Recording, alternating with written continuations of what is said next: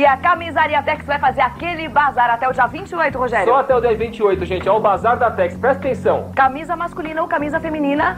Cinco reais, Não é brincadeira, é bazar da. Tex. Já já pra você. Vem.